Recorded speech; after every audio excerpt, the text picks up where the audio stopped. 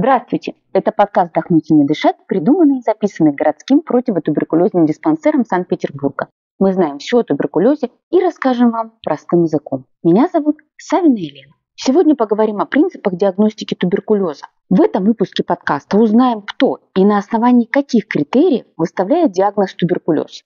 Для начала стоит сказать, что туберкулез не имеет специфических признаков, то есть характерных только для него. Его клинические проявления разнообразны. Заболевание может поражать различные органы и ткани, иногда локализуясь в нескольких органах. Основным условием правильной диагностики туберкулеза является комплексное обследование пациента, анализ лабораторных и инструментальных методов исследований. Главная задача врача-фтизиатра при диагностике заболевания – получение микобактерий в биологическом материале. Выявление микобактерий позволяет не только установить диагноз, но и получить информацию о лекарственной чувствительности, а значит назначить противотуберкулезную терапию, подходящую конкретному пациенту. Диагноз в зависимости от объема полученных результатов может быть вероятным, если имеются клинические признаки, подозрительный на туберкулез и положительная проба с аллергеном туберкулезным рекомбинантным, диаскин-тест, или другие положительные результаты исследования интерферона гамма на антигены микобактерий туберкулеза в крови,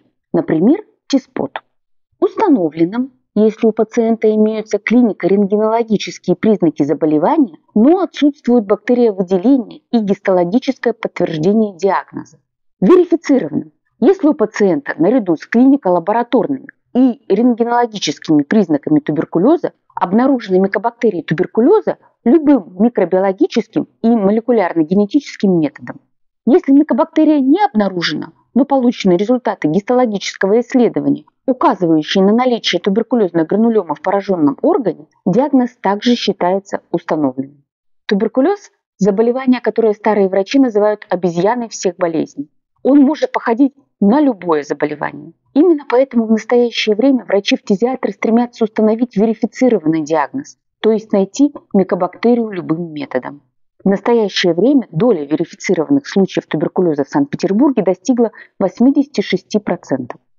Для получения микобактерий необходимо повторное исследование материала, а чаще всего это мокрота, поиском микобактерий под увеличением, микроскопия, посевом на питательные среды, а также молекулярно-генетическим исследованием, которое в настоящее время является наиболее точным и быстрым методом обнаружения ДНК микобактерии туберкулеза.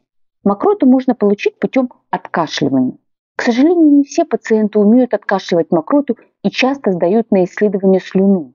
Более точным методом получения материала из легких является фибробронхоскопия, во время которой доктор берет материал из глубоких отделов бронхиального дерева.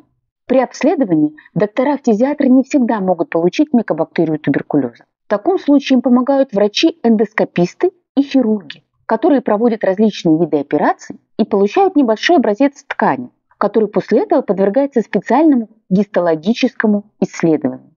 Стоит отметить, что диагноз туберкулез подтверждается комиссией врачей противотуберкулезного диспансера, которая принимает решение о необходимости диспансерного наблюдения, в том числе госпитализации, лечения пациента с туберкулезом.